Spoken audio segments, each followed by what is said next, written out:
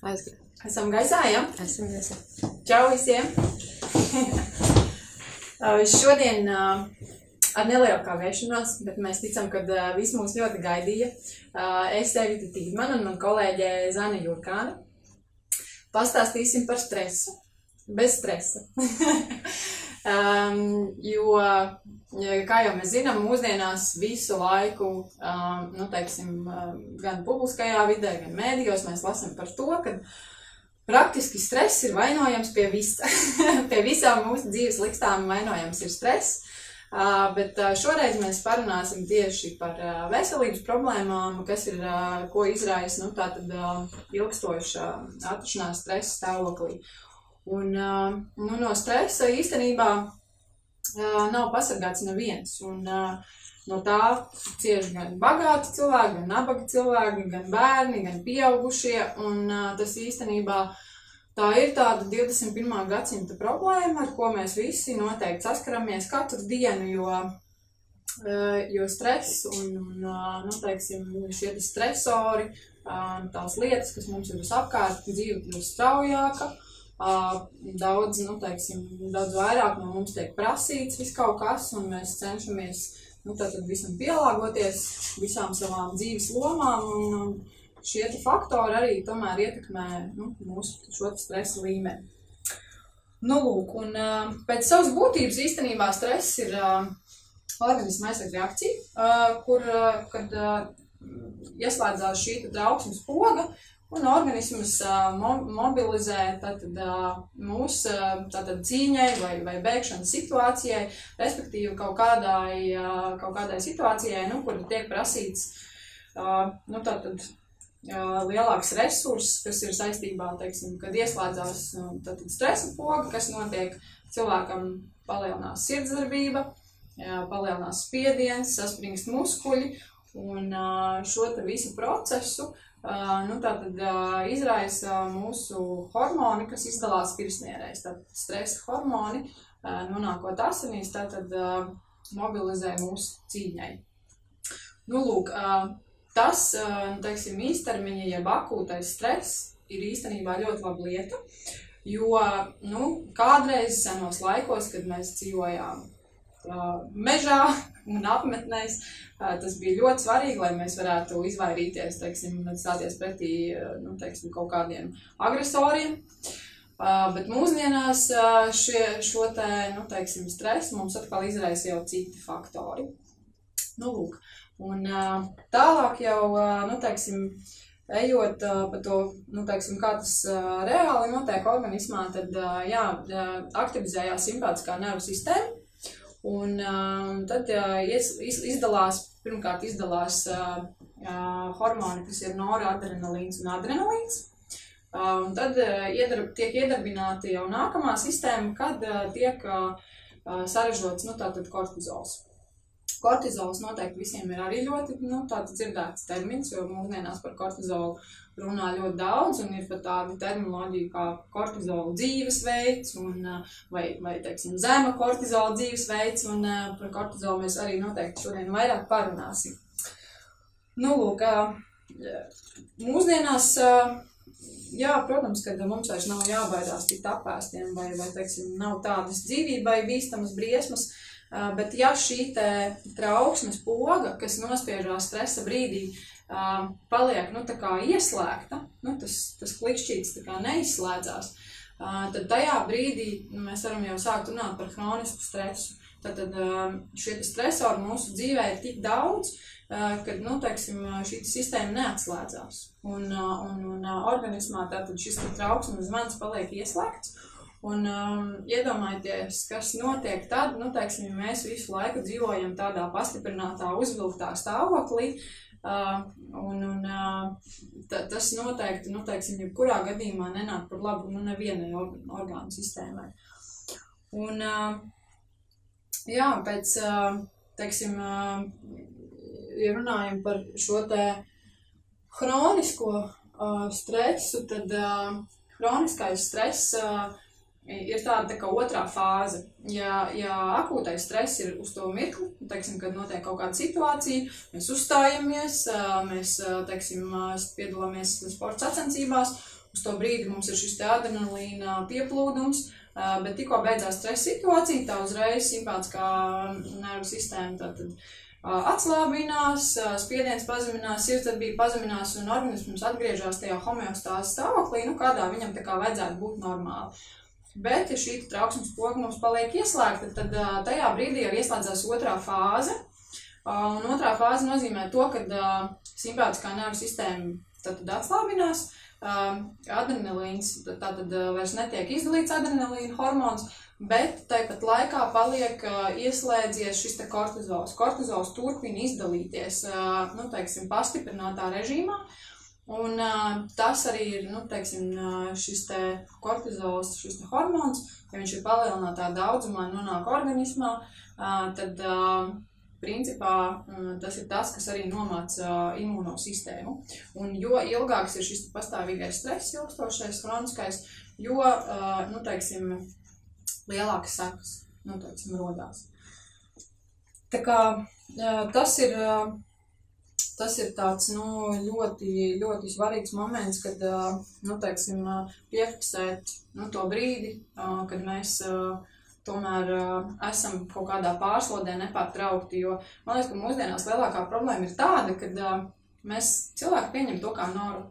Nu, atrasties tajā nu, stresa stāvoklī um, ar laiku pierodam. Un sākam, nu, to uztvert, nu, tas jau ir normāli. Nu, kad es tur esmu stresains, es esmu uzvilcies, uh, man, nu, teiksim, ir bezmiegs, man, nu, teiksim, jau rodās kaut kādas jau, jau, jau simptomi, uh, par kuriem it kā mums liekas, nu, tās kaut kādas veselības saistītas problēmas, nu, tā kaut kāda, nu, tur, nezinu, galva tur pasā biežāk, nezinu, kuņģis tur bišķiņu pastrēko man, jā, nu, tas, tas ir ok, tas ir ok, nu, teiksim, un mēs kaut kādā veidā pat nesasēsim to ar to stresa, nu, teiksim, momentu.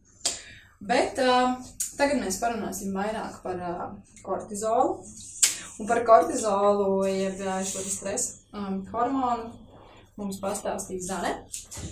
Um, jo kortizols tā ir ļoti aktuāla parēmējā. Jā, sveiki. Tad par kortizolu. Tas, tas ir ļoti svarīgs hormons. Vispār es vēl piebildīšu mazliet par stresu. Stress ir faktiski tāda, tāda spēlīta mūsu organismā ar hormoniem. Jo viens hormons ir saslēdzis ar priekšējo, ar pakaļējo, ar augšējo, apakšējo hormonu, tādējādi veidojot mūsu stresu. Uh, viens hormons iedarbina nākamo hormonu, vai viena hormona trūkums atkal reaģē uz citu hormonu darbību. Tad nu, kortizols ir kārtējais mūsu viens no hormoniem, ļoti svarīgs hormons, kas mums ražojas virsnierēs, tāpat kā adrenalīns, uh, virsnieru garozā, tātad viņš uh, aktivizējas. Un viņš palīdz uzturēt ļoti svarīgas lietas mūsu organismam. Ļoti svarīgas, teiksim tā, ka viņš regulē gan asinsspiedienu, gan sirdsdarbību, gan asinsvadu darbību, tad regulē centrālo nervu sistēmu, arī dažādas imūnreakcijas un piekaisuma reakcijas viņš mums regulē, tātad uh, dažādas metabolismu procesus. Uh, bez kortizola faktiski mums uh, būtu grūti tātad, uh, vispār mūsu organismam izdzīvot. Un vēl kas ir svarīgi ar kortizolu, ir tā, ka viņš, viņš dienas laikā svārstās, tātad viņš vispār ir, viņš nav, viņam nav tāds noteikts tas, tas daudzums, kā viņš izdalās. Viņš izdalās uh, apmēram agri no rīta, ap 6, 8 no rīta, viņam ir tas maksimālais tas izdalīšanās daudzums. Un ap pusnakti viņam atkal noslīd šis uh, izdalīšanās daudzums. Un faktiski, lai, lai mēs vienkārši spētu aizmigt. Un kas ir ļoti interesanti, ka kortizols apmēram stundu no līdz divām stundām pirms mūsu pazemošanās vienkārši uzlic augšā, lai mēs būtu gatavi dienai, lai mūsu tad, asins rita, lai mūsu centrāla nervu sistēma būtu gatava darboties, celties un, un vienkārši dzīvot. Tāda tā, tas uh, niansīts. Tātad, um, to es jau izstāstīju, ok. Bet, ja jūs ejat gulēt un uh, jūs nevarat aizmigt, ja, tad Tas nozīmē, ka kortizola līmenis ir augsts, un faktiski, un ja tā ir ilgstoša, tas jau var liecināt par kušinga sindromu. Es vairāk neminēšu par to kušinga sindromu tur sīkāk, bet tas ir tāds simptomu pazīmju kopums, ka kortizola līmenis ilgstoši ir paaugstināts, un tas savukārt veido dažādas šos procesus mūsu organismā, par kuriem es pastāstīšu mazliet vēlāk. Bet par to kortizola līmeni viņš ir paaugstināts. Tātad mums stresa situācijā viņš izdalās asinīs. Bet izrādās, ka, piemēram, grūtniecē, grūtniecēm viņš arī izdalās, viņš ir paaugstināts. Ir īpaši otrajā, trešajā trimestrī viņš pat var būt no divām līdz piecām reizēm augstāks nekā normālā, mm, teiksim, tāda stāvoklī. Tāpēc dažkārt tas grūtniecības ir mazliet tāds uzvilktāks, un tur var viņam prātīgāk jārunā, jo tur hormoni vienkārši darbojas. Uh, Vēl eh, kortizola pussabrukšanas laiks ir apmēram no 70 līdz 120 minūtēm. Tas nozīmē, ka, ja mēs sastresojamies, mums vajag diezgan ilgu laiku, lai tomēr nomierinātos, lai to kortizolu nomierinātu. Tas nav tā kā adrenalīna. Ja adrenalīns, piemēram, darbojas 5 minūtes, viņš ir tāds aktīvs, tad kortizolam vajag ilgu laiku, lai viņš tā kā nomierinātos. Un vispār kortizols metabolizējas aknās, tad viņš noārdās. Aknās un tiek izvadīts ar urīnu. Tāpēc, tā, kad mums, ir satraukums, tad ir ļoti labi nevis ēst, ko mēs gribam parasti, bet tieši uzņemt šķidrumu, vēlam sārmanu šķidrumu, par ko es pastāstīšu vēlāk, kāpēc tieši sārmanu, lai izvadītos ārā, ātrāk šīs skābes un šis kortizols. Tātad kortizols ir ļoti nepieciešams, jo viņš ieslēdz šo instinktu cīnīties vai bēdz par ko arī minēja Erika, ko pirmsākumos, jo bez tā faktiski arī sportisti nevar dzīvot. Viņiem tas ir nepieciešams. Tikai te jautājums, cik, cik, cik lielās devās un cik ilgstoši mēs viņu pieļaujam savā organismā. Tātad paaugstināt stresa līmenis arī var vienkārši mūsu organismu pārāk daudz, ja viņš, viņš nemitīgi ir dažādas sekas, viņš var rast, radīt. Tad viena no sekām un pazīmēm, ka jums kortizola līmenis ir vienkārši ilgstoši pārāk daudz, kas, kas jau tā kā graujoši ietekmē jūsu organismu, tas, ka jums ir biežas augstēšanās un slimošanas. Jo kortizols, kā izrādās, viņš vienkārši atslēdz uh, aizsargspējas, imunitāti, vienkārši pavainās un ķermenis kļūst atvērts dažādām slimībām un, un baktērijām un sēnēm. Plus kortizols ir tas, kas ļoti, ļoti skābina organismu. Un, kā zinām, skāba organismā ļoti labi dzīvojas visi vīrusi, sēnes un baktērijas, un līdz ar to mums ir vieglāk saslimt. Tātad, kā jau es minēju, grūtības ielikt un kārtīgi izgulēties, jo, ja mums ir paaugstināta šī kortizola izdalīšanās, tas nozīmē, ka tā, vienkārši mūsos darbojas šis kortizols, viss tiek uzbudināts un uzlādēts, un mēs nevaram izgulēties. Un, Tās sekas, kad mēs neizguļamies, protams, ir tas, ka mums patstāvīgs nogurums nākamajā dienā. Plus patstāvīgu nogurumu var izraisīt arī tāda lieta, ka mums visu laiku izdalās virsnieku dziedzerīt šis kortizola hormons, un beig beigās tas tās virsnieku dziedzers vienkārši ir sauguris un izsmelts. Un viņš vienkārši nespēja izdalīt kortizola līmeni pat tādā līmenī, lai mums vienkārši darbotos normāli uh, uh, orgāni, kā tā sirdsdarbība, asinsspiediens regulētos, un vienkārši nu, tādēļ vien mēs arī jūtamies noguruši. Tātad sāk uzkrāties liekie kilogrami. Ir īpaši tām vairāk gan novērojams sievietēm, ka veidojas tieši vēdera zonā saucamās glābšanas riņķis. Tas ir kārtīgs kortizola riņķis. tad, tad vienkārši tad, no kortizola mums uh, saskāpst organisms, un skāba organismā nespēja pārstrādāties normāli uzņemtā barība, plus kortizols palēlina vielmaiņu, adrenalīns pātrina vielmaiņu. Ja, tās ir ļoti divas būtiskas atšķirības, vai jums ir kortizols vai adrenalīns tajā brīdī. Tad, tad liekie kilogrami. Un, kad gribas neveselīgas našķus, kad vienkārši ir tā, ir stress un liekas, ka, nu, kā cukuriņi mazliet, bet patiesībā to cukuru ne jau jums organismam vajag, bet uh, kortizols arī paaugstina cukuru līmeni asinīs, un tādējādi mums izdalās vairāk insulīna, un vienkārši mums organisms līdz ar to prasa to cukuru, lai, lai varētu um, ar insulīnu viņu sagremot, lai būtu ko gremot.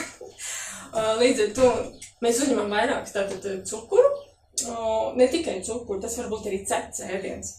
Uh, un arī mums veidojas liekas taukens ēdiens, nu tāds junk food, tas teikt, ja, tāds pilnīgi tukšs ēdiens, kur tikai kalorijas un, un tādējādi mums, mums veidojas tas riņķis, ja, tas saboties loks.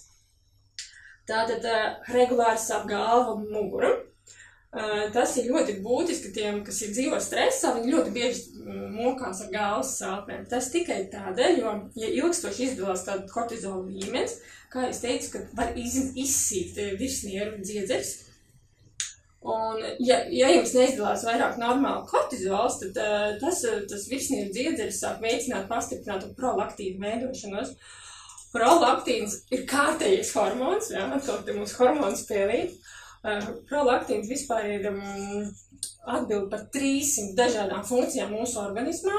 Un viņš ir viens no tiem, kas, kas atbild par zīdīšanu, ja, grūtniecības laikā, pēcgrūtniecības un Un, var sakot, un tas arī prolaktīns pastiprina sāpju izjūtas muskuļos un mugurā, un it īpaši galva paliek jūtīga. Ja, pret asi reaģē pret dažādiem uztraukumiem ar galvas sāpēm.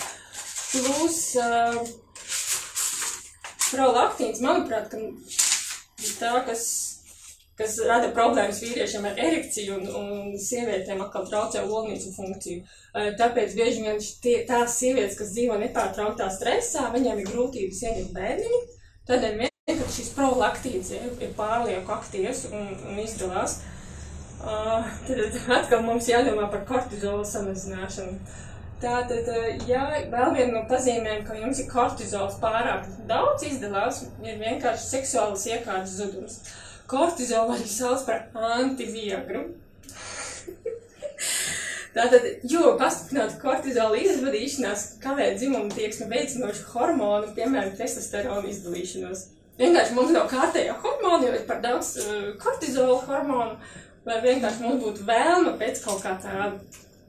Lai gan vajadzētu pārvarēt šo, šo nevēlēšanos, es vēlāk izstāstīšu, kādēļ. Uh, Tātad vēl, protams, mums ļoti asi reaģē uz kortizola pārlieku ilgstošu darbību. Tas ir gremošanas trakts. Viņš ir ļoti jūtīgs tieši uz, uz šīm hormoniem stresa, kas var izpausties kā slikta duša. Bet tas, tas ir regulāri, regulāri slikta duša, regulāri cauri vai, dažādas spazmas, dedzināšana, kuņģa čūlas. Ja? Bet tas ir no tādas ilgstošas un regulāras mocīšanas sevis.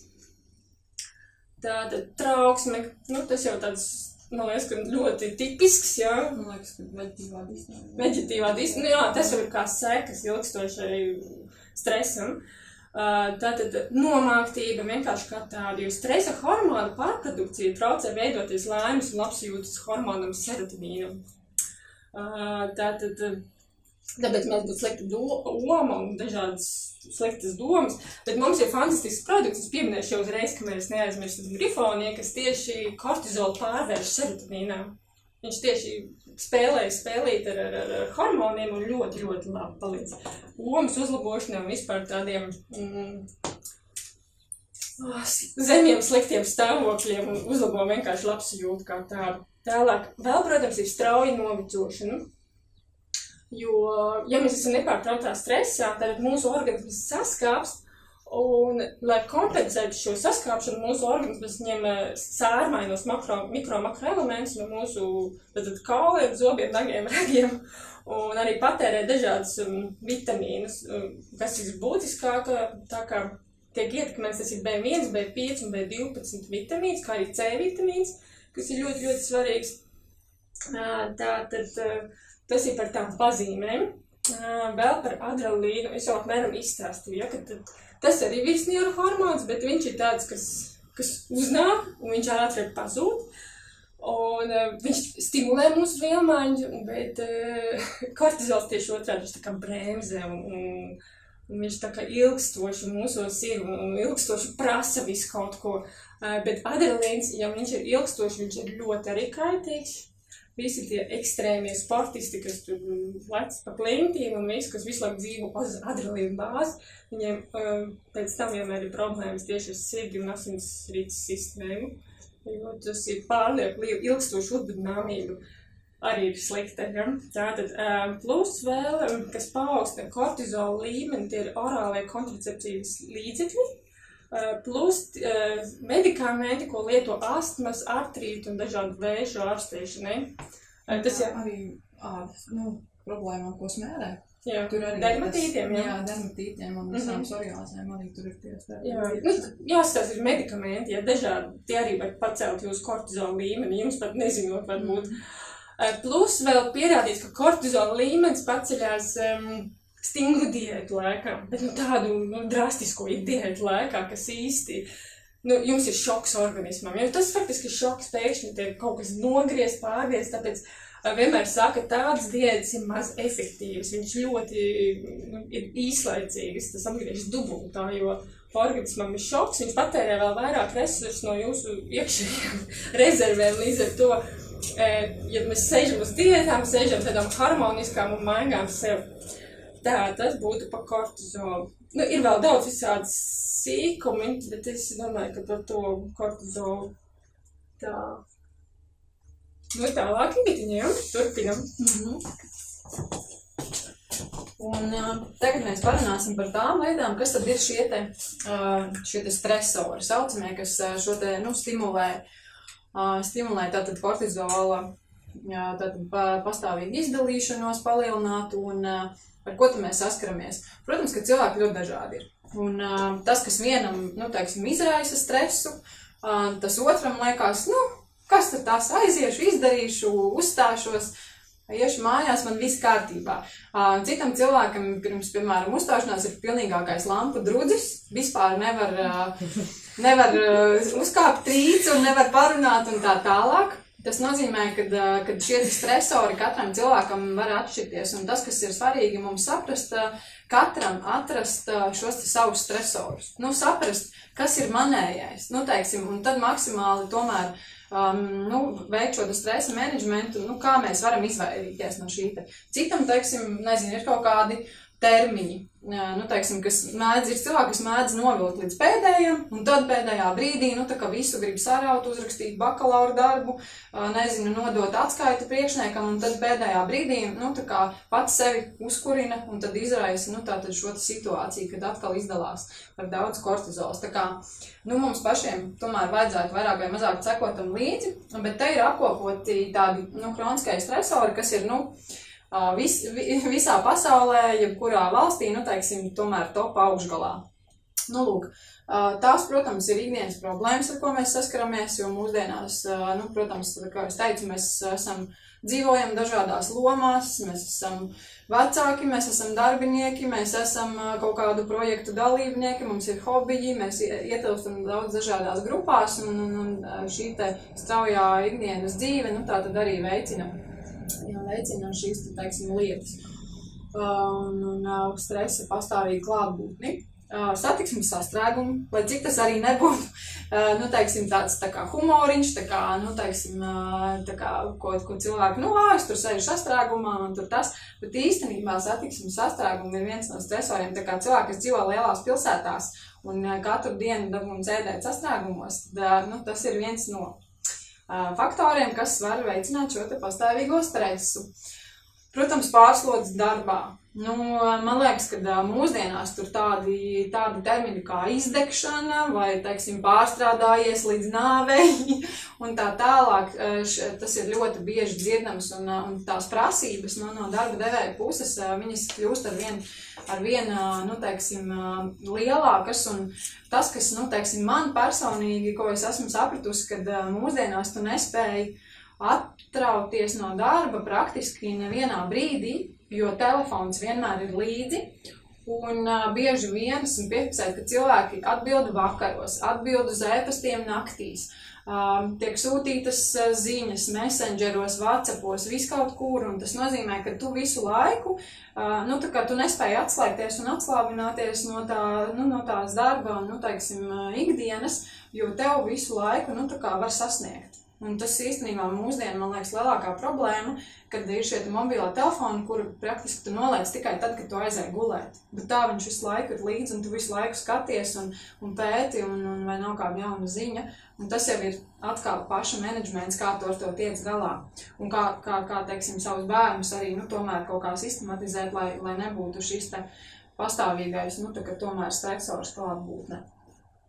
Un uh, interesanti ir tas, ka tajās valstīs, kur ir ļoti daudz darba stundas, kā Japāna un, un Ķīna, uh, tur ir speciāli termini nāvei, ko ir izraisījusi pārstrādāšanās darbā. Ir, nu, ir nosaukums vienkārši, to sauc tā un tā. es neatceros tos nosaukumus, bet, nu, fakts kā tāds, kad ir pat termins. Nāvei no pārstrādāšanās. Tas nav, nu, tas izteikums par to, ka nu, pārstrādājies līdz nāvei īstenībā ir tuvu patiesībai. Uh, Protams, ģimenes problēmas, uh, dažādas, uh, nu, teiksim, uh, dažādas uh, krīzes situācijas ģimenē un, un, uh, un tuvu cilvēku zaudējums, tas, protams, ir ļoti liels stresors arī, kas, kas var būt ilgstoši.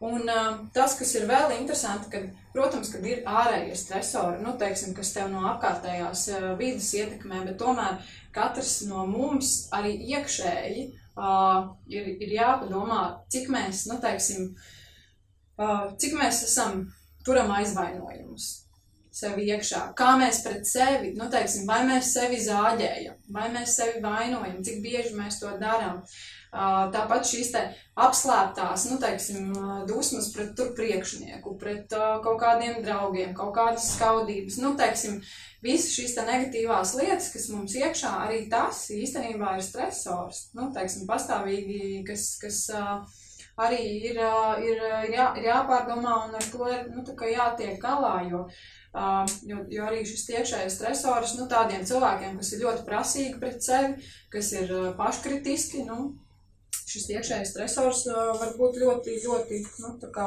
izraisīt liels sekas.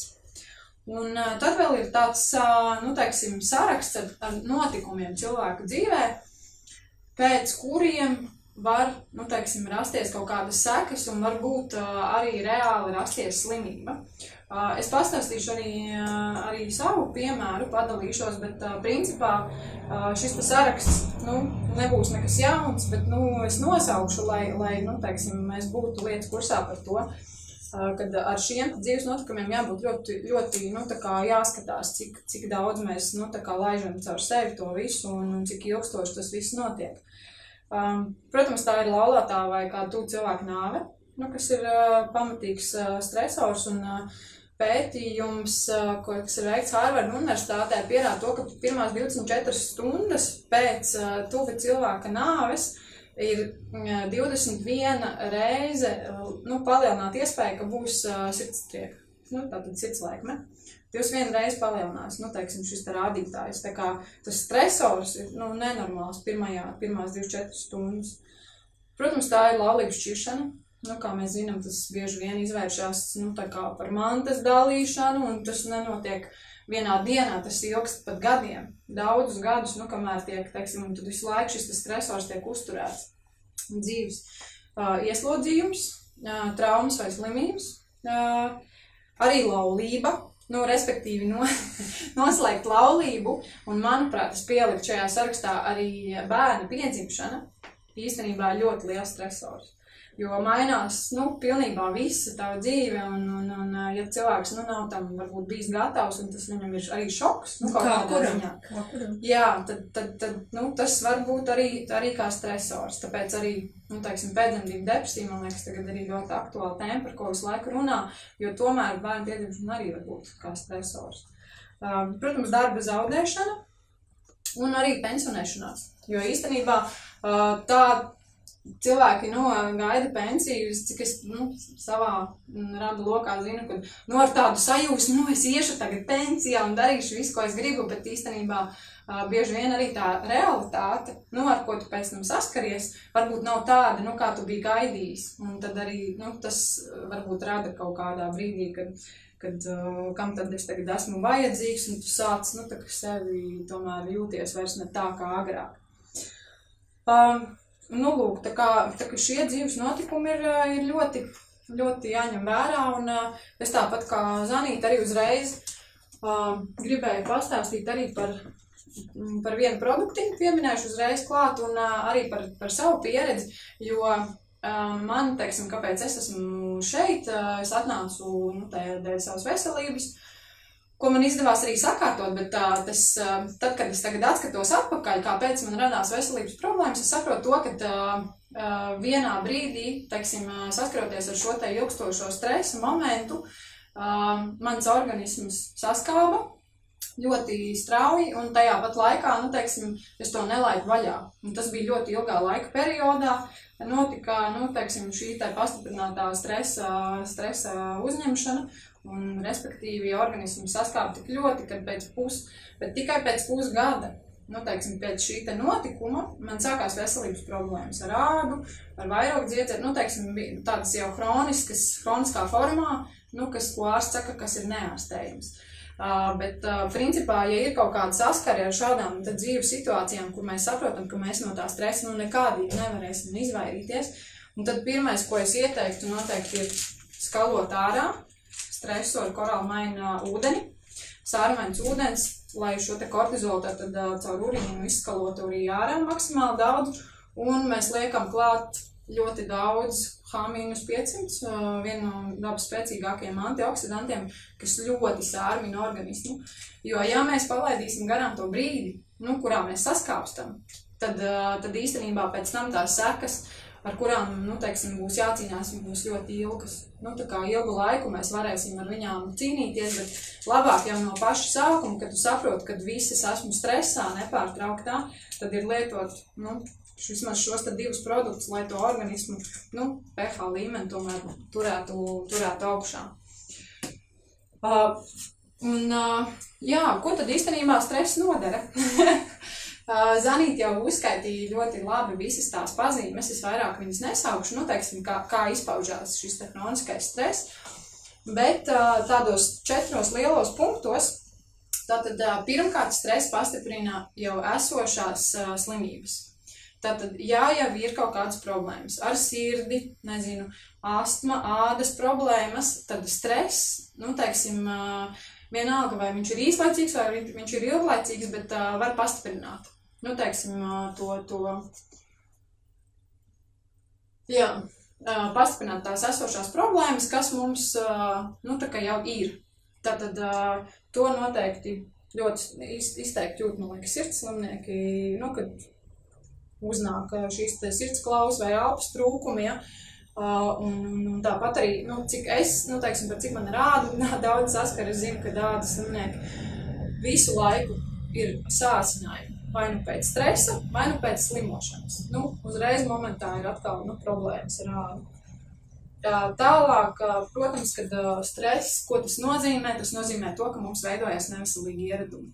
Un pie neveselīgiem ieradumiem, jā, mēs varam minēt to pašu, nu, teiksim, taukaino slikto pārtiku, tāpat smēķēšana, tāpat, teiksim, Vakaros tikai vīnu glāzīt, vīnu glāzīt, vīnu glāzīt, tad jau divas vīnu glāzītes, un uh, tad jau mēs saprotam vienā brīdī to, ka, ka tu jau bez alkohola nespēji nevienu dienu iztikt. Nu, ka tev ir vajadzīgs kaut kāds vakarā, kas tev noņem, bet tāpat laikā īstenībā šīs te, nu, narkotikas un alkohols, viņš tomēr tāpat veicina atkal to kortizola izstrādi.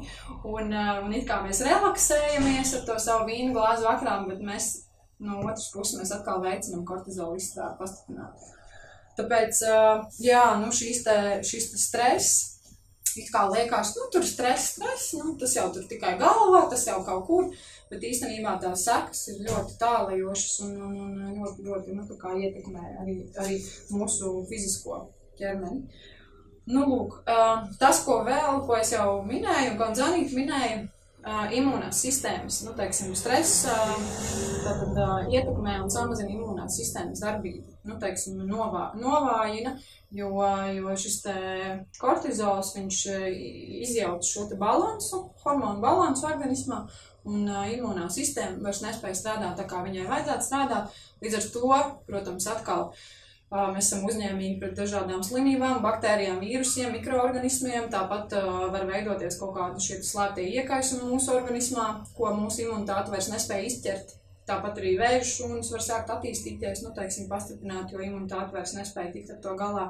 Tā kā, nu, tas ir diezgan nopietni.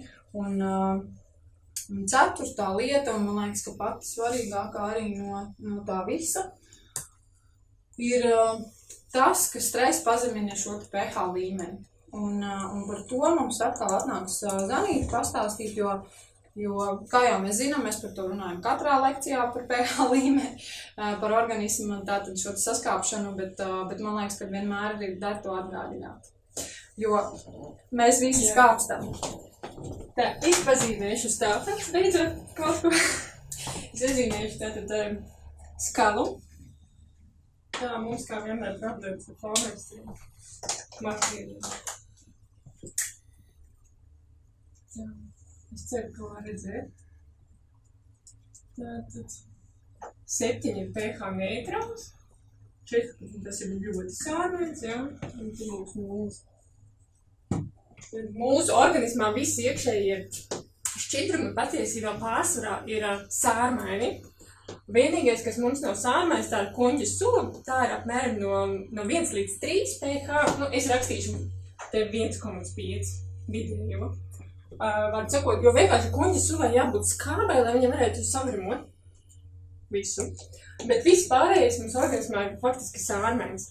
Uh, Viss vienkāršāk mums ir pārbaudīt mūsu iekšējo vidējo pH. ir uh, ar pēc iekalam. Ir tāda speciāla lakmus eh, papīrīša, ko var pārbaudīt. Uh, ja, ir normāls iekšējais balans, tad, tad uh, sieklu pH jābūt ir 6,5. Tas ir tāds ideāls variants. Ja? Uh, nu, 6,5, 7. Atkarībā no ko mēs esam ēduši tajā brīdī. Bet, uh, kāpēc ir tik svarīgs tas pH? Ja? Uh, Tiklīdz mēs saskāpstam, mūsu organisms ņem uh, šos sārmainos mikro un makro elementus no mūsu kauliem, ar ko aizpildu vienkārši to skābi neutralizēt. Mūsu skābe faktiski mums izvadās uh, ar urīnu mūsu ārā, tāpēc vajag noteikti uh, lietot daudz šķidrumu, tā ka mēs stresojam vienkārši, lai skalotu šo ne tikai skābi, bet arī šo kortizolu ārā. Uh, mūsu, uh, mūsu asins ir no 3,5 līdz 3,45. Ah, sep- Jā, 7. Es rakstīšu 7,43, ko visbiežāk rakstīju par mūsu.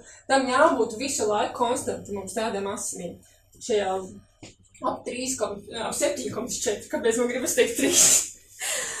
Var sakot, ā, ja mums asinis saskāps līdz 7,2, mums iestās koma un pie 7,1 mēs vienkārši mirstam.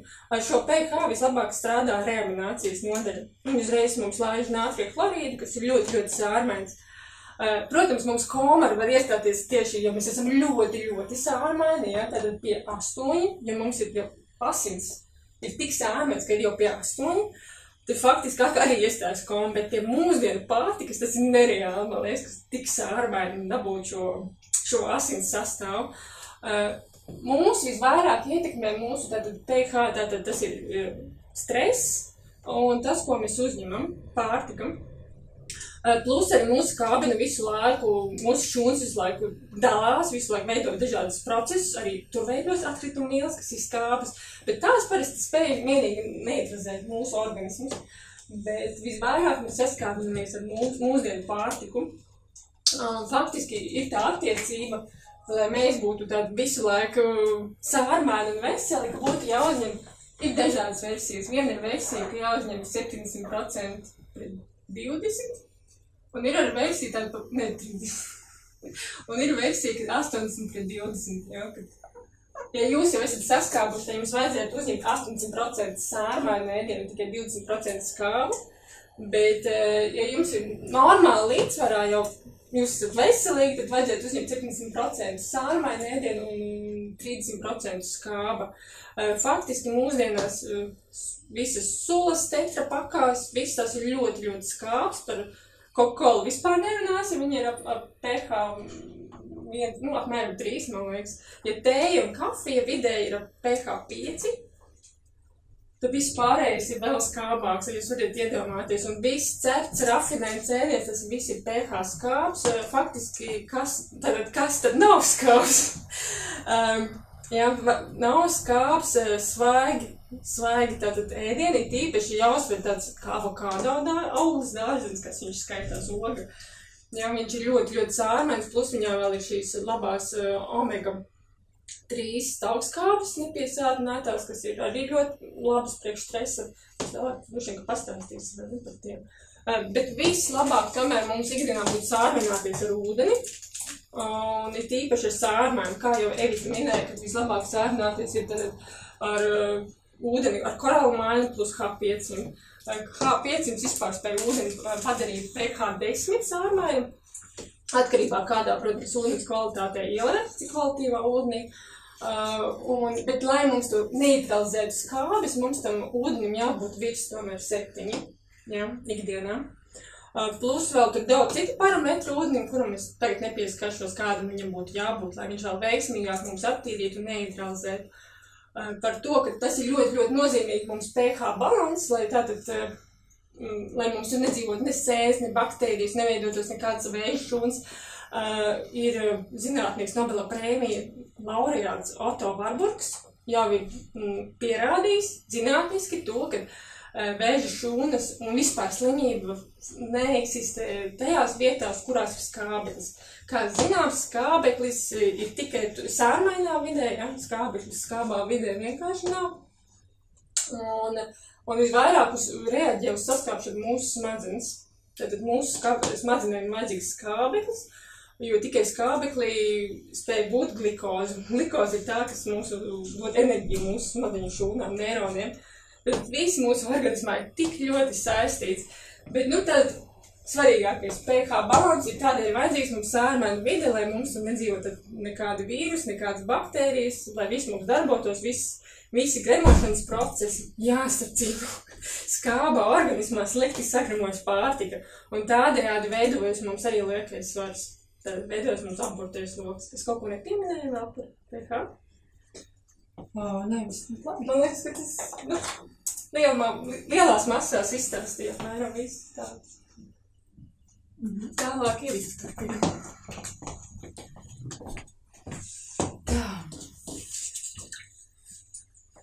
Tātad par um, tālāk, ja mēs iesim jau dziļāk tajā tēmā iekšā un skatīsimies jau konkrēti, kādas uh, slimības, nu, teiksim, uh, ietekmē, nu, stress, uh, respektīvi stress ir kā viens no faktoriem klāt, klātesošs, uh, kas veicina šīs slimības, nu, tā kā rašanos, vai arī man patīk teikt, nu, kad stress ir tā kā palaidai mehānisms arī brīžiem, nu, teiksim, kad uh, It kā organisms nu, tiek galā, viss imunā sistēma strādā, bet tikko ieslēdzās stress, tā pa ķēdīti aiziet viss tagad tālāk. Un, un, un, diemžēl, jā, mēs nav praktiski organismā neviena orgāna sistēma, nu, kas neciestu no stresa, jo, kā jau es teicu, Uh, nu, cilvēki var domāt, nu, ka uh, stress ir saistīts tikai varbūt ar nervu sistēmu, ar kaut kādām psiholoģisku raksturu saslimšanām, nu, ka tas ir tikai galvā un, un ka neko citu jau tas īsti neietekmē. Um, bet īstenībā, jā, stress izpaužās ļoti, nu, arī fiziskā ķermenī, mūsu orgānos un, uh, un tieši tāpēc arī mums ir ļoti svarīgi, nu, par stresu pastāstīt vairāk. Un ļoti, nu, teiksim, slikti stress ietekmē, protams, kad visas kognitīvās funkcijas. Galvas, nu, teiksim, smadzeņu funkcijas, un tas, kas ir interesanti, kad, ja ir palielināts kortizola līmenis, tad īstenībā tas veicina arī galvas smadzeņu šūnu bojā eju. Un, un jo pārmērīgi tiek stimulēta nu, šī smadzeņu aktivitāte, un šūnas sāk iet bojā. Un, uh, es atradu arī pētījumu, kur ir uh, pierādīts nu, teiksim, tas, ka uh, cilvēkiem, kam ir ilgstošs kronisks stress, uh, ir arī mazāks smadzeņu apjoms. Nu, Tātad arī šīs kognitīvās funkcijas, vispār teiksim, atmiņa un, un uh, vispārējais nu, teiksim, ir sliktā, nu, sliktākā stāvoklī nekā nu, teiksim, tiem cilvēkiem, kuriem tas nu, kortizola līmenis ir normālāk. Nu, normāl.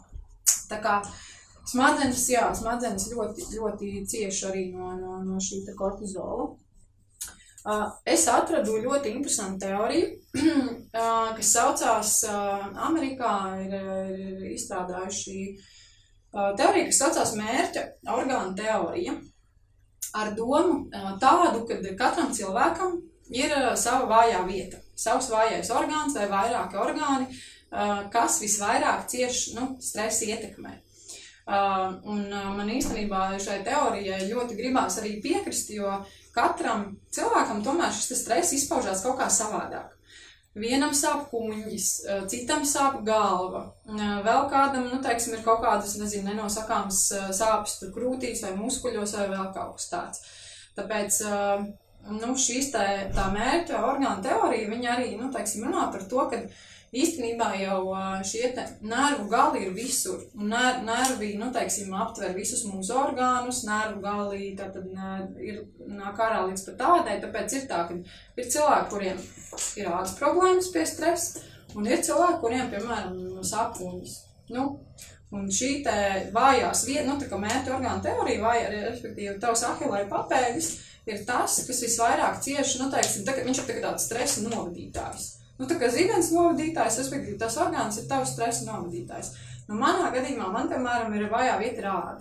Nu, teiksim, es arī uzreiz to jūtu, kad, ja ir pastiprināti bijis kaut kāds lielāks stress, tad, nu, sākās kaut kādas ādas problēmas.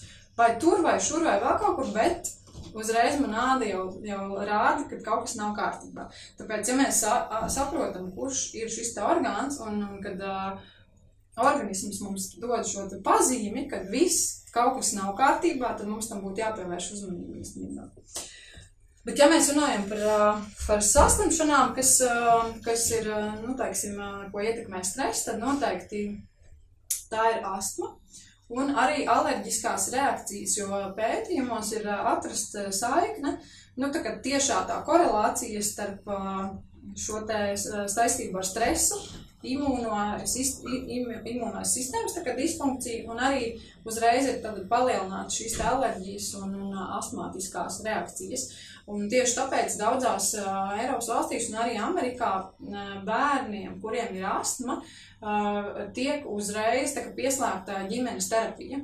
Nu, respektīvi, psihoterapeits tiek uzreiz pieslēgts, lai, lai ārstētu astmu. It kā liekas, nu, neloģiski, ja, ko tur psihoterapeits var palīdzēt, bet īstenībā šī, te, šī te praksa ļoti labi strādā. Nu, teiksim, jo, ja tiek novērsts šis stresors, nu, kas bērnam ir ģimenē vai, vai nu, teiksim, ārpus ģimenes dārziņā vai kaut kur vēl, tad arī uzlabojās uzreiz, nu, teiksim, šī, šī slimības simptomi vairs nav tik izteikti. Um, Protams, kad uh, manas mīļākās ādas slimības ir arī topa noteikti augšgalā, jo, nu jā, āda, āda ir tā, kas, uh, kas īstenībā ir tāds, nu tā kā, nu, tas kļūst par tādu spriedzes atspoguļojumu. Tev viss, nu, tā kā ir cilvēki, kuriem, saku, paliek viss iekšā. Nu, teiksim, varbūt notiek kaut kāds iekšējās orgānu izmaiņas, bet ir cilvēki, kuriem nāk viss ārā uz ādas. Un tas pat nav slikti, jo tad tu ļoti skaidri to redzi uzreiz, nu, teiksim, ja ir bijis stresors, tev uzreiz, teiksim, parādās pleķi vai, vai, vai pīmes vai vēl kaut kas, teiksim, tad tu jau saproti, ka kaut kas nav kārtībā. Un uh, Amerikā jā, ir izstrādāts arī tāds jauns novirziens dermatoloģijā, kas ir uh, psihodermatoloģija, uh, kur uh, dermatologi ir sapratuši to, ka saslēdzot kopā nu, teiksim, dermatoloģiju ar psiholoģiju, tie rezultāti ir daudz labāki. Nu, teiksim, uzreiz tas efekts un, un, un tā ārstēšana kļūst daudz efektīvāka. Un es nu, noteikti tam gribētu piekrist, ka tas ir nu, pareizi skatīties nu, kopumā. Uz, uz, uz dermatoloģiskajām saslimšanām, jo 30% uh, no dermatoloģijas pacientiem ir kāda nu, psiholoģiska problēma. Nu, teiksim, pamatā, un ja ārsts uh, par to nepajautā vai, vai nu, teiksim, netiek izstrādāts kaut kāds plāns, kā samazināt šo kaut kādu stresoru, ja, kas, kas cilvēkam ir, kas provocē šo tādu nu, tā problēmu, uh, tad, uh, diemžēl, tā ārstēšana var būt diezgan neveiksmīga. Tā kā, nu, tas, tas ir tāds uh, par nerviem un, un, un teiksim, ādu. Un es domāju, ja kuras saslimšanu uh, es gribētu uzzīmēt tādu nelielu schēmu. Tas ir tas saucamais, nu, tā kā nebeidzamais atkal aplis, kur mēs ejam par īņķi, jo, nu, teiksim, varbūt tāda lieta, pastāstīšu savu gadījumu, lai būtu precīzāk, ka, nu, uh, respektīvi saslimšana, psoriāze, uh, Pie vainas ir bijis tātad stress. Stress, kurā, kad, nu, teiksim, stresa rezultātā ir samazinājies organismā pH līmenis. Tālāk organismā ir savairojušās sēnes, manā gadījumā, ja, kas tātad ir izpaudušās uz āru, nu, teiksim, manā vājajā vietā, nu, tā kā uz ādas, tātad mans vājais orgāns ir āda, un tātad cēnas ir savairojušās.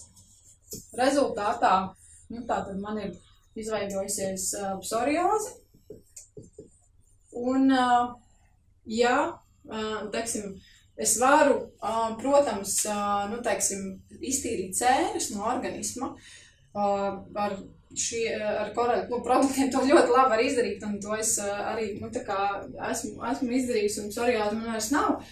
Bet, ja kaut kādā brīdī parādās šis te atkal, nu, teiksim, stresa faktors, tad mēs īstenībā, nu, ejam tālāk par riņķi atkal. Jo, ja šajā, nu, teiksim, ārstēšanas, nu, teiksim, procesā, nu, ne ārstēšanas, bet, bet organisma attīrīšanas rakstīsim, ja, šeit. Tātad attīrīšanās. Šanās netiek pieslēgts klāt, nu, vēl kaut kas, kas strādā uz nerviem, nu, kas novērš to pirmo impulsu, nu, tātad, kas, kas atkal uh, uh, pazemina pH, ja, tad uh, mēs ejam tālāk. Nu, mēs atkal turpinam pakli, tad, tad ir atkal kaut kādā brīdī stress, pa- pazeminās pH līmenis, uh, uzreiz savairojās sēnes organismā. Savairojās sēnes, izpaužās kā psoriāze. Nu, tad mēs atkal attīramies, iztīram sēnes, it kā viss te ir baigi super, atkal ir stresa moments, atkal ir pH pazemināts, atkal sēnes, nu, tā kā savairojās organismā. Un tā īstenībā, nu, ar jebkuru, nu, kā slimību, kas, kurai, nu, šis stress ir tā tas palaidēja mehānisms, ir ļoti svarīgi vienmēr kaut ko, nu, teiksim, pielikt klāt stresam. Vai tā ir grifonija, ja? vai tas ir cilvēkiem, ir, kam ļoti patīk mindsets. Arī ļoti labi strādā uz nervu sistēmu, uz atmiņu, uz kognitīvajām funkcijām. Uh, vienkārši ir jāsaprot, ka, ja mēs noņemam šos nervu impulsus, kas visu laiku kā, nu, dod, nu, pazemina mūsu pH, tad tajā brīdī jau mēs varam runāt par tādu ilgtermiņa rezultātu. Nu, ka mēs jau attīrot organismu, pievienojot šos te pret stresa preparātus, mēs jau varam runāt par to, ka tas rezultāts jau būs ilgtermiņā. Un tādā veidā, teiksim, arī turpinot jau pēc attīrīšanās, lietot sārmainu ūdeni, lietot H500, mēs uzturam šo te homeostāzi, mēs uzturam sārmainu organismu un vairs neļaujam saskāpt. Līdz ar to mēs neļaujam vairoties ne sēnēm, ne baktērijām, ne vīrusiem. Un, nu, teiksim, principā mūsu mērķis ir uzturēt normālu pH balansu, nu, teiksim, organismā un stabilu nervu sistēmu. Un tad jau īstenībā arī nu, no daudzām problēmām mēs varam izvairīties jau ikdienā. Uh, Tālāk, jā, pie, pie slimībām arī Zanīt minēja kuņa zarnu trakts. Nu, ir cilvēki, kam ļoti, ļoti strādā, nu, teiksim, stress, uzreiz ir spazmas, uzreiz ir sāpju kuņģis, neskatoties uz to, ko viņš ēd vai nē, vai kā guļ. Nu, tur ir tie ieteikumi, tur gulēt, tur galva augstāk vai vēl jā, tas pats refluks. Jo tās uh, iekšējās dusmas un kaut kāds naidīgums vai naids uh, īstenībā to kuņģa skābi nu, padara vēl skābāku. Un uh, līdz ar to sākās, jā, sākās refluksa problēmas. Nu, kad ir šī, šis atvilnis, nu, kad nāk tā skābe ārā. Un uh, tāpēc arī ļoti, nu, teiksim, tie, kur- kuriem ir šī vājā vieta, kuņģis un zarnu trakts, tāpat čūlas. Ja, tās arī ir nu, diezgan tieši korelējās ar kaut kādiem stresoriem, ar kaut kādām dzīves situācijām, nu, lielām, uh, lieliem pārdzīvojumiem. Tāpat uh, tas saucamais uh, kaļināto zārnu sindroms, čūlainais kolīts, nu, zarnās, kad ir caurumi ja, izveidojušies tajā gļotādā. Tas viss nu, ir saistīts arī ar, ar, to pašu, uh, ar to pašu stresu un paaugstināt kortizolu. Viena, nu, teiksim, jau izsenis, uh, viena no klasiskajām tādām psihosomatiskajām saslimšanām ir, ir koronārā sirdslimība. Jo uh, tur tā korelācija, nu, teiksim, jau, jau ir sen pierādīta, nu, kad uh, cilvēki, kuriem ir problēmas ar šiem sirds asinsvadiem, sirds asinsvadi sašaurinās tik ļoti, kad uh, vienkārši tur netiek cauri vairs tie mazie eritrocīti un leikocīti, kuri mm, kaut gan paši par sevi ir ļoti maziņi, bet šie asinsvadi vienkārši ir saraušies. No tā, nu, teiksim, no tās savilkuma, no, no tās spriedzes viņi paliek pilnīgi stīvi un, un nu, kad nekas netiek cauri. Plus vēl asins paliek biezas. Jā, Jā, ja plus, ja vēl asins paliek biezas, nozīmē, ka nu, tur uzreiz ir liela iespēja, ka būs tromps, nu, teiksim, nāks kaut kāds lielāks, kaut kas tur salips kopā un viss. Uh, nu, tā, tas tā ir sirdslēkme. Un uh, arī pētījumi pierādījuši, ka pēc, nu, teiksim, tie, kas jau ir piedzīvojuši un izdzīvojuši sirdslēkmes, ka viņi ir atzinuši to, ka jā, pirms tam ir bijuši kaut kādas, teiksim, stresori, kad ģimenē, darbā, nu, teiksim, kaut kur vēl ir tomēr bijuši šie faktori, kas, kas ir ietekmējuši, uh, ietekmējuši šo te sirdslēkmes, nu, tā kā pā, pātrinājuši to gaitu. Un, jā, tas, kas ir, stress ir, jā, stress tā tad ļoti interesanti, kad stress ir viens no faktoriem, kas ietekmē paaugstināt asinsspiedienu. Tas noteikti jāņem cilvēkiem vērā tiem, kuriem ir problēmas ar asinsspiedienu, un otrs ar holesterīnu. Šīs divas lietas arī diezgan ļoti korelējās ar stresu kopā. Nu, ar ilgstošu stresu. Ja ir problēmas ar asinsspiedienu, ja ir problēmas ar, ar, ar, holesterīnu līmeni asinīs, tad noteikti stress, nu, teiksim, ir viens no, tā, no tām lietām, par ko jāpadomā. Vai tas nav atkal tas palaidēja mehānisms nu, šim procesam. Jo vienmēr pie katras saslimšanas, pie katras nu, problēmas ir jāmeklē pats pats cēlonis. Nu, tā kā tu nevari vienkārši nu, sākt, nu, tu sāc dzert zāles, tu kā likvidē to problēmu uz to brīdi. Bet ja tu neatrod cēloni, no kurienes, teiksim, tas nāk, vai tas ir stress, vai tās ir aknis, vai tas ir tā ir neveselīga ēšana, ja, teiksim, par, par pamatu, ka šim, nezinu, holesterīnam kaut vai, tad, nu, ir, nu, tas ir īslaicīgs risinājums tās zāles. Tāpēc arī ārsts saka, tagad tev jādzer holesterīna zāles līdz mūža beigām. Un tā tas arī principā ir, ja tu neatrod cēloni. Uh, ir vēl pētījumi jā, par galvasāpēm migrēnu. Tu jau izstāstīji ļoti skaisti par, par, šiem, par to hormonu, kas tur pastiprināti izdalās un kas ietekmē šo sāpju nu, slieksni. Un uh, jā, arī diabēts. Īpaši otrā tipa diabēts, kas izveidojās nu, teiksim, no neveselīgiem ēšanas paradumiem, tur atkal ir jāskatās, vai palaidēja mehānisms nav bijis stress. Nu, teiksim, vai šī te neveselīgā ēšana, aptaukošana, nu, tātad aptaukošanās, visas tās sekas, nu, teiksim, kas beidzās jau ar otrā tipa diabētu, vai tas jau sākotnēji vienkārši nav bijis no stresa. Un tāpēc atkal novēršam, nu, teiksim, no arī gan, gan nu, teiksim, vienu, gan vienmēr padomājam par to, ka tas stress ir jāsamazina. Nu, lūk, par tādām ir interesants pētījums, arī skatījos par reumatoīdo artrītu, kad esot atklātas nu, rakstura īpašību atšķirības starp tiem cilvēkiem, kuriem ir artrīts un starp tiem, kuriem nav. Un tie cilvēki, kuriem ir artrīts, viņi ir, nu, teiksim tā, pašdestruktīvi, ļoti, nu, tā kā augstas prasības viņiem pret sevi, pedantiski. Nu, tā tad viņi sevi no iekšpuses, nu, tā tad grauž. Un uh, viņi ir, nu, teiksim, tādā, nu, teiksim, šīs te, nu, pētījums ir veikts, jā, starp tādiem cilvēkiem, kuriem ir, kuriem nav. It kā tieši varbūt, nu, pierādītā stresa ietekme, bet, nu, interesanti ir tas, ka šīs personības iezīmes ir ļoti izteikti, nu, teiksim, uh, gra, nu, se, sevis tā kā graujošas. Un tas pats īstenībā ir attiecināms arī uz tām autoimūnajām saslimšanām, kad it kā organisms vēršās pats pret sevi. Tur arī kā tiek likts klāt tas psiholoģiskais faktors, kad eh, te, nu, šiem te cilvēkiem nu, noteikti jāpievērš eh, arī uzmanība tam psiholoģiskajam stāvoklim, jo, jo viņi mēdz būt pašdestruktīvi šie cilvēki arī, nu, kuriem ir autoimūnās saslimšanas. Uh, jā, saaugstēšanās, gripas ir uh, diezgan arī nu, novērojams, jo, jo tiek nomākta imunitāte. Un, protams, arī nu, arī psihiskās saslimšanas, uh, neirozes, dažādas, arī depresija, šizofrēnija tiek saistīta ar uh, stresu, nu, ilgstošu stresu, ka tas arī tomēr ietekmē. Un uh, interesanti ir tas, ka pie depresijas, kuņģis, uh, kuņģis skābes, uh, nu tā kā skābe vairs nav tik, nu viņai palielinās tas pH.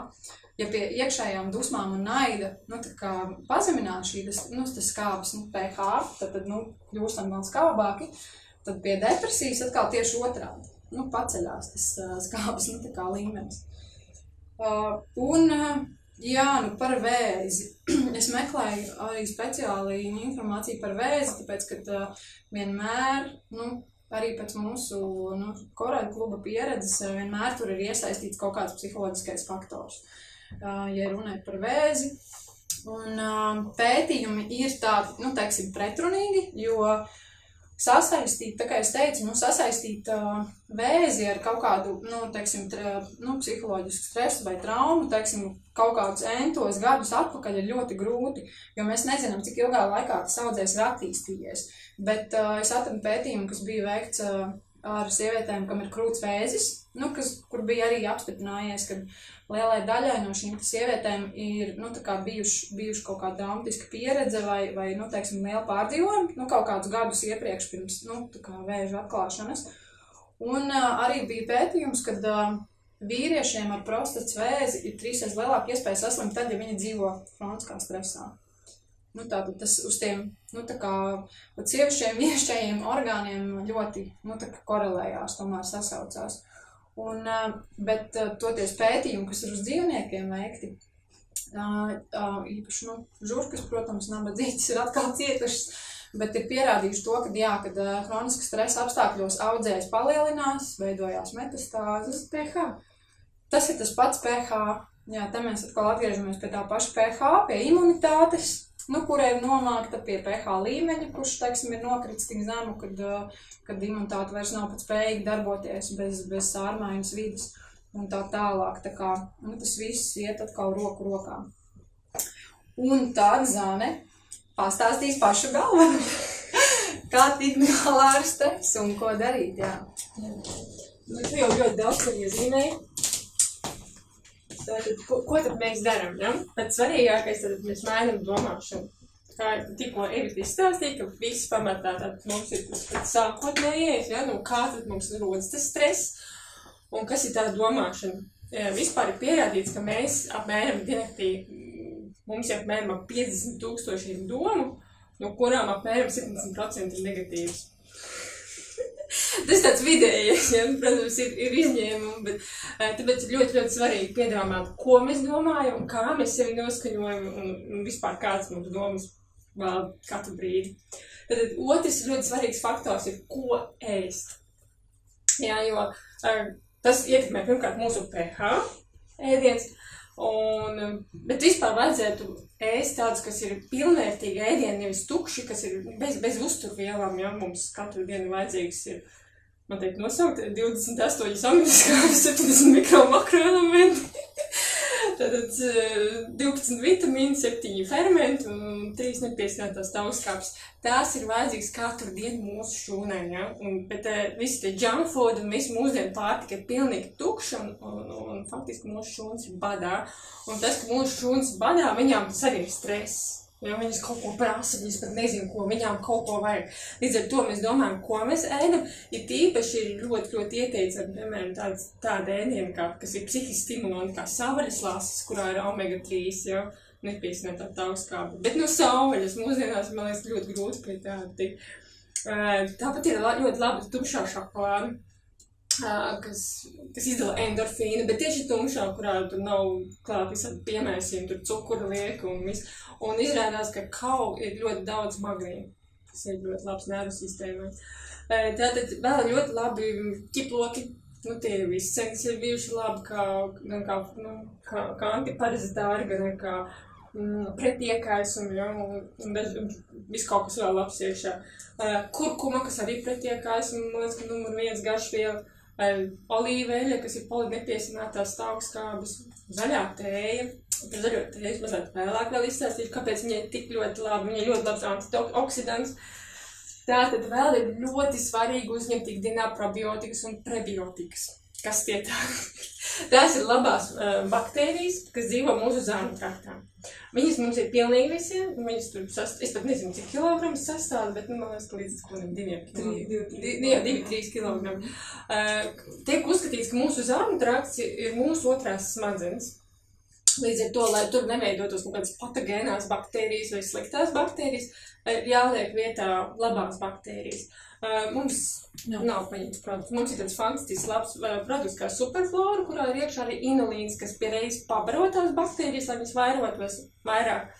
Um, bet ir ļoti labi vēl ēst tādus, tādus produktus kā spārģeļus, bumbierus, banānus, miežus, lētas, arī tos pašus ķiplokus, sīpolus, tomātus. Ja? Tas viss ļoti labi ir iespaidos jūsu zāņu traktu. Ļoti svarīgs faktors ir tas, ka mēs izslēdzam no uzturam maksimāli cukuru un kofeīnu. Bet kafija ir piena cukuru. Cik skaisti, vai ne? Bet tas noteikti mūsu stresa situāciju nemazinās. Šie produkti tieši otrādi paaugstina mūsu kortizola līmeni, līdz ar to mēs vēl vieglāk spējam iekrist stresa situācijās. Un cukurs vispār atvieglo stresa hormonu veidošanos kā tādu.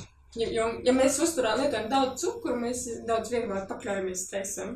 Nu, iespaido mūsu stresu. Tā mēs varētu būt neitrālāki varbūt šādās situācijās.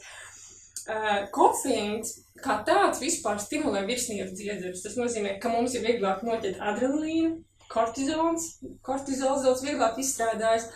Uh, un vispār, ja kofeīnu patērē regulāri, nu tā par riktīgo, uh, tad ir pierādīts, ka kortizola līmenis var būt pat divas reizes augstāks nekā tiem, kas nelieto kafiju vai lieto ļoti maz.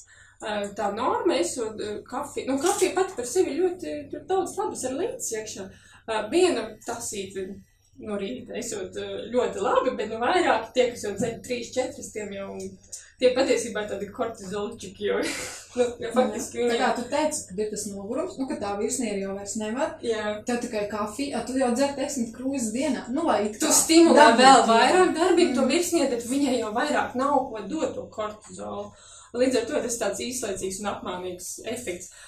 Ļoti laba alternatīva ir zaļā tēja. Zaļajā tējā ir četreiz mazāk kofīna nekā kafijā. Bet zaļajā tējā ir tāda fantastiska īpašība, viņa atslābina organismu. Lai nu būtu tas, es nevaru izstāstīt, tie stresēni, viņi tādi mazliet saspīmuši, lai būtu atslābums, lai viss cirkulētu, visu mūsu iekšējie šķidrumi, lai būtu viegli un forši.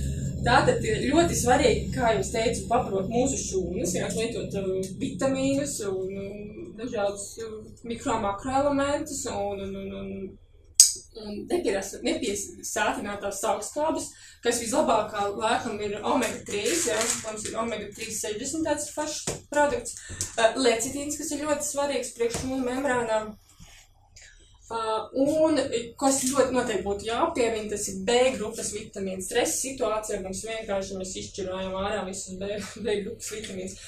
Ļoti garšīgs, tas saucās Tasty B, mums ir tāds uh, sūkājums, uh, lēma garš, lēma, tad cik apelsīns lēmas, kaut kas pa vidu ļoti tāds atspirdzinoši garšīgs, ko pat bērni labprāt sūkā kā končas, bet nu nav ieteicams tu pārdozēt arī vienu tādu, ka izsūkā pilnīgi pietiek.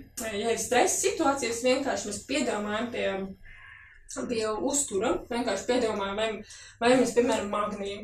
Magnīs ir tas, kas mums stresa situācijas, ko mēs visātrāk izlietojam, izšķirojam ārā, jo organismam kaut kā ir jāsārmina tas un tam viņš ņem sārmainos mikro makroelements, un, un sārmainie elementi ir tieši magnīs un kalcijs, kas pirmie aiziet mums projām. Uh, Tāpēc arī, ja ir stresa situācijas, tad cilvēki saka, pēc tam viņiem vairāk bojā zobu, drūbu zobu. Faktiski tas var arī tas, ka mm, tiek izskalot šie, šie minerāli. Tātad, kas vēl novērš stresu, ko vajadzētu iekļaut ikdienā? Tās ir fiziskas aktivitātes. Jebkādas fiziskas aktivitātes. Protams, joga un cigums, tas būtu vienkārši ideāli. Ja? Kāpēc fiziskas aktivitātes ir tik ļoti nepieciešamas? Pirmkārt, mēs izkustamies, mums ir mums veidojas vairāk skābekļu. Nu, nu, tā kā mēs kustoties, spējam atkal to pH mazliet neutralizēt. Un, bet uh, sporta laikā mums izdalās kārtējais hormons, mūsu hormonu spēlīte neveids, uh, ko sauc par endorfīnu. Un endorfīnam ir, tāda īpašība, ka viņš uh, mazina apetīti un, un arī sāpes. Tātad vispār uh, kustēšanās tātad uzlabo garīgo funkciju un aizkavē smadziņu novecošanos un, un, un plus vēl daudz labāks miegs. Māks izlādē galvenais, nu, tās Jā. izlaid ārā, nu, tās, tās stresu, tās emocijas, nu, visu, visu. Visu, visu. Es esmu piefiksējis, ka man, piemēram, endorfīns izdalās pie trešajā skriešanas kilometra. Tieši pie trešā. Nu, un tad viss, un tad es, es pilnīgi pieķeru, ka es skrienu un smaidu.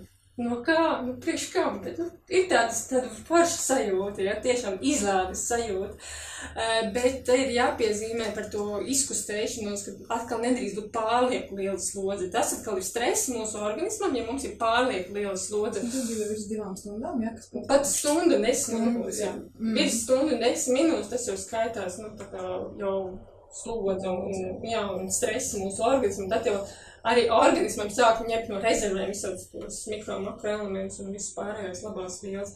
Tagad mērena slodze faktiski ideāli pat ir 20 līdz 30 minūtes dienā pilnīgi pietiek. Nu tā, ja ikdienas ir pilnīgi pietiek. Ja, piemēram, to dara retāk, nu, trīs vai četras reizes nedēļā, tad, protams, tā slodze ir garāka un intensīvāka. Bet, nu, piemēram, man ir tā, ka es eh, jogu apmēram katru dienu vienkārši 15 minūtes. Īsti, nu, tādas iztaipīšanās, lai visas fascijas iztaipās, lai plūst uh, mūsu limfātiskā sistēma, kas patiesībā ir arī palīgs imunitāte un visam pārējiem, lai mums, tā kā mūsu atkrituma sistēma tiek iekustināta un izglīta. Tātad vēl, ko tu vari darīt, ja stresa situācija? Tātad tā ir meditācija. Mēs varam meditēt kaut vai tikai 10 vai 5 minūtes ikdienu, bet vienkārši tā noskaņošanās uz mieru, ka šodien, nu, ielaist sevī mieru, sakārtot, sapopot tās domas. Atkal te ir mums eh, tā runa, atgriežamies pie pirmā mainīt domāšanu. Mainīt domāšanu mums var palīdzēt ikrīt vai ikvakar kaut kāds process meditācija. Tātad vēl viens ļoti būtisks faktors, tīpaši pilsētniekiem, tie, kas sēž ofisos, ir svaigs gaiss. Jā, jo patiesībā tā, liekas, tāds sīkums, labi, pilsētā ir pagrūti dabūt svaigu gaisu, bet kaut vai vienkārši pār desmit minūtes iziet pusdienu laikā pastaigāties, tas vienkārši jūsu omu uzlabos daudz, daudz vairāk, eh, ticiet man. Jo mūsdienās ir tā, mēs izējām no mājas, iesēž- iesēžamies mašīnā, aizbraucam uz darbu, izkāpjam no mašīnas, aizējam, ejam oficiālā. Viss. Mēs pat mm, gandrīz nepagūstam pasmaržot gaisu, bet uh, uzņemt vienkārši skābi kā tādu.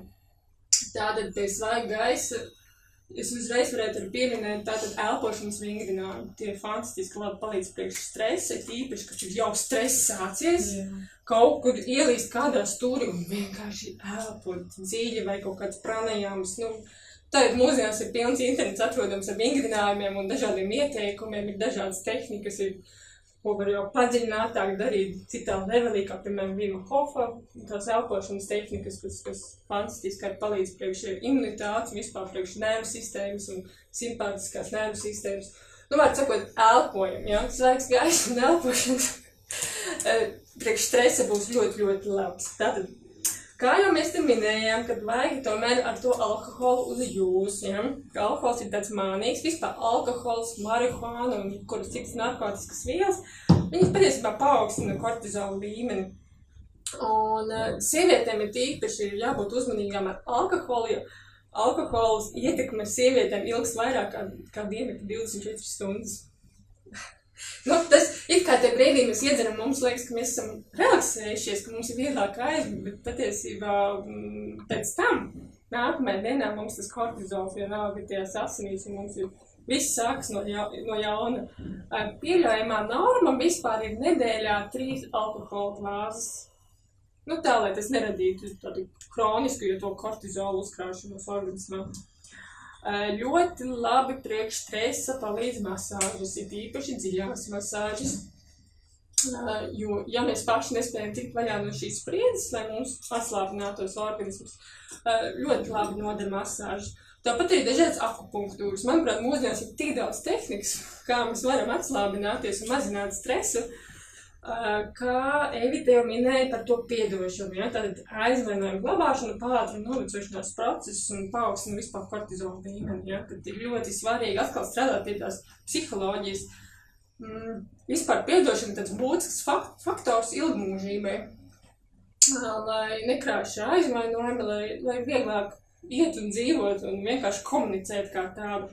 Un tāda ļoti būtiska un jauka lieta, kā orgasma izbaudīšana. Ja? Tas arī mazina stresu. Bet kas parasti notiek? Man nav apšaubu, ka varbūt ne. Bet patiesībā 60 orgasmu sekundes um, laikā mīlestības un tuvināšanās hormons oksitocīns pārpludina organismu. Ja? Un šis uh, oksitocīns uh, pazemina kortizona līmeni vienkārši nu, burtiski. Nu, tā, ka, nu, kur vēl labāk? un ir tāds sievietēm atkal ir bonusiņš. Izrādās, ka viņām šis uh, oksitocīns izdalās vairāk nekā vīriešiem. Bet nu, viņas vispār ir, viņas ātrāk var uzvilkties un ātrāk var nomierināties.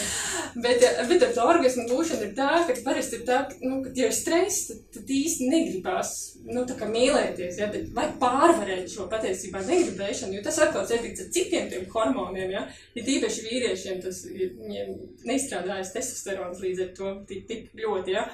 Viņam tīpaši tāds, nu, tā negribēšana iestājas lielāk, bet to vajag pārvarēt, jo pat, nu, tas ir vieglākais ceļš patiesībā un baltpilnākais, kā, kā var likvidēt stresu. Tā vēl ļoti būtisks veids, kā novērst stresu, tā ir socializēšanās.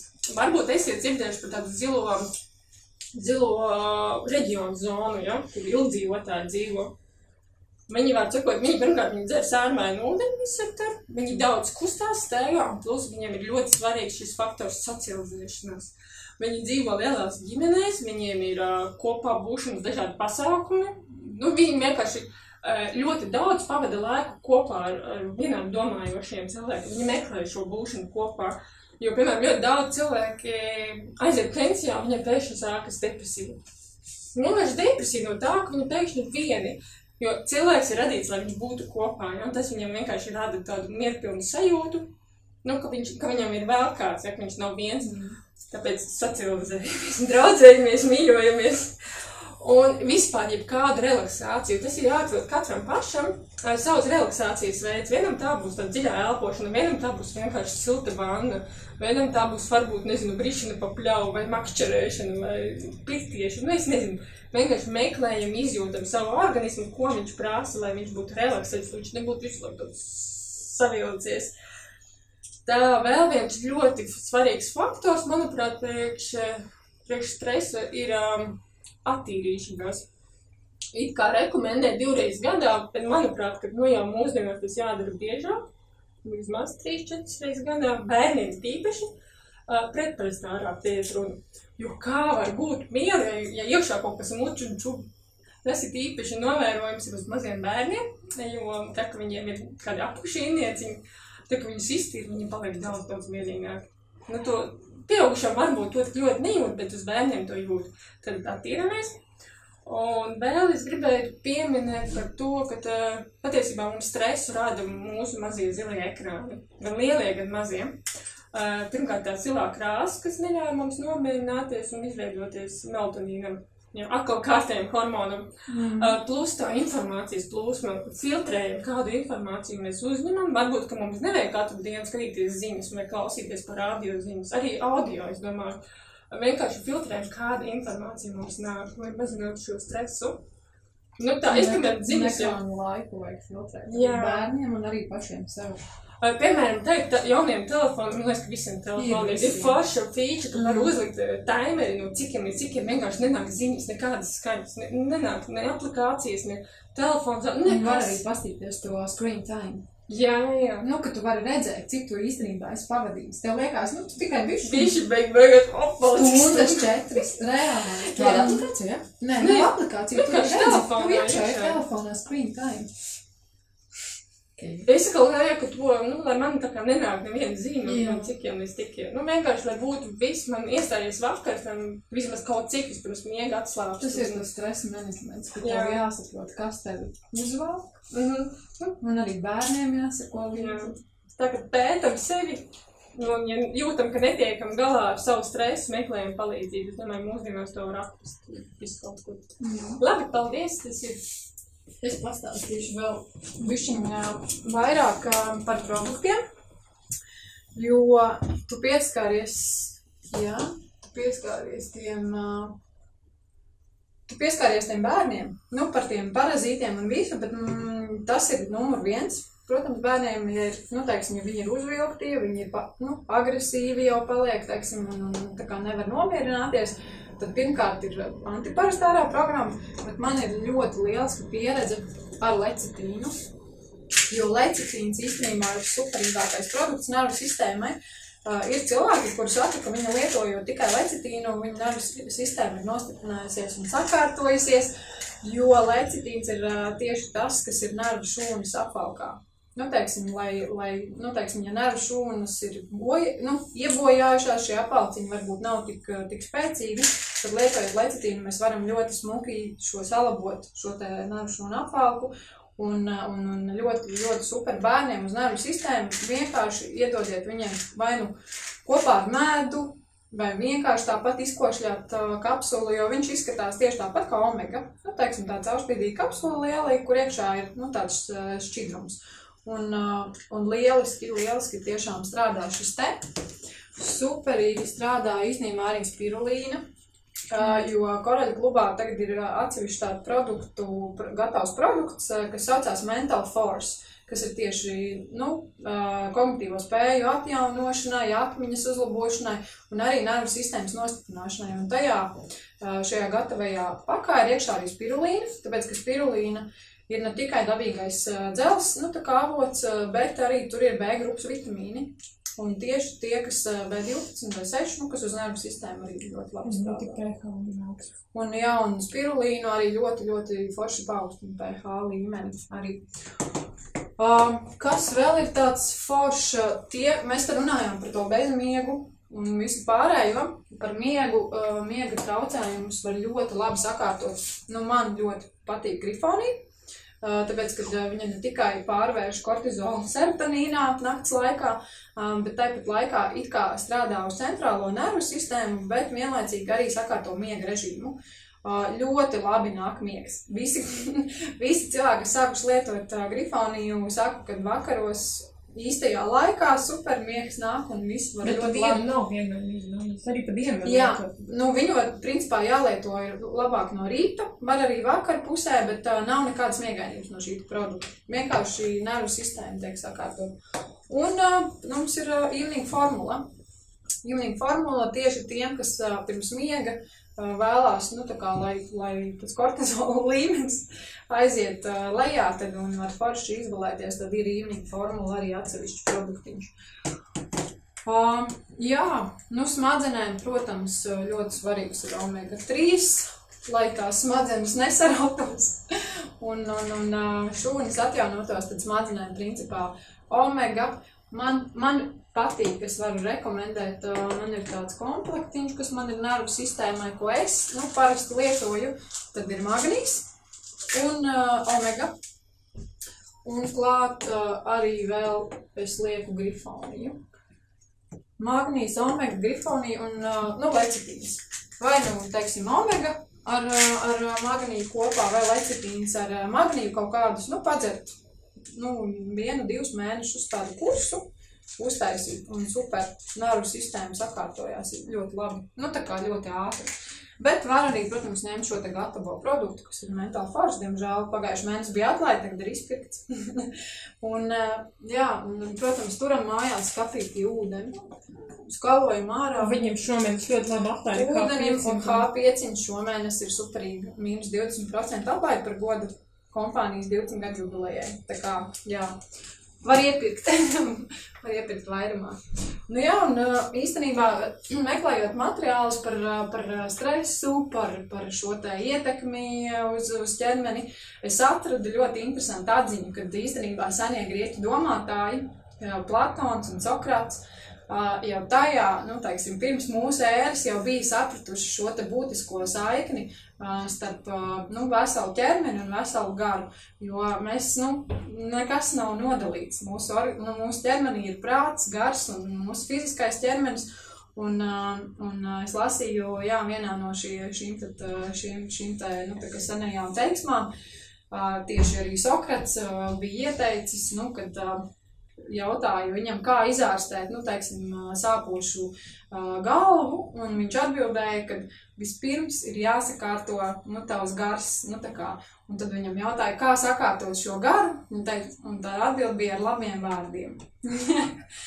Tā kā domāsim labas domas, runāsim labus vārdus, iedvesmosim citus, jo īstenībā nu, veco labā arī atziņa par to, ka mēs jau nevaram izmainīt to savus dzīves notikumus. Mēs nevaram izmainīt to, to savu dzīves, varbūt, ritmu tik ļoti, mēs nevaram ietekmēt nu, kaut kādus atgadījumus, kas mums notiek, bet mēs varam izmainīt savu attieksmi pret tiem. Mēs varam to visu uztvert daudz mierīgāk Mēs varam izmantot dažādas metodes, ko Zana minēja, kad ir tagad ir dažādas piedošanas metodas, ir dažādas meditācijas, jogas, nu, ko mēs varam ieviest savā ikdienā kā paradumu. Vienkārši 15 minūtes no rīta vai 15 minūtes vakarā veltīt sev.